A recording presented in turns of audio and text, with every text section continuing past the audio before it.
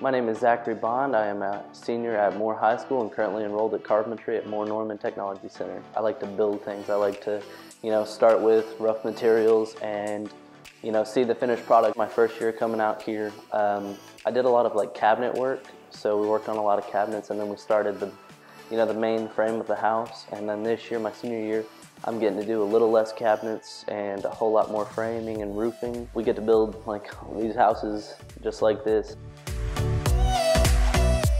Back in my high school, I'm also involved in youth and government, which I'm on a mock trial team, which I'll go to state and present cases at the state capitol. At Moore Norman, I'm involved in several student organizations, the main one being Skills USA, where I'm the South Central District President.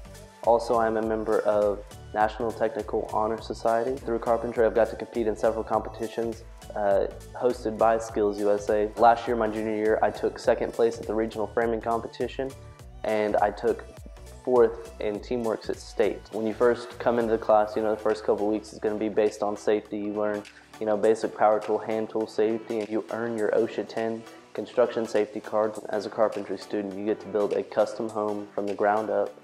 Uh, not only does carpentry get to work on it, but electrical comes in and does the electrical and HVAC comes in and does all the heating and air within the home. So plan after high school for myself uh, is the military. I've already enlisted in the United States Navy and I got a contract as a Navy corpsman. I want to make a career out of it, so 20 plus years. As a corpsman, I'll get a whole bunch of certifications that could transfer over to civilian life if I wanted to, and college is not completely out of the picture. The final goal would be like, you know, RN, like possibly even get like nursing. I don't think, you know, coming to Moore Norman uh, you learning a skill set that has to be your skill set. Like I just want this to be a hobby. Eventually, you know, I, I want to build my own home. You know, if I if I need if I need to fix something, you know, I'm that handyman, you know, that can get out there and do it. But the, the role for me is the military.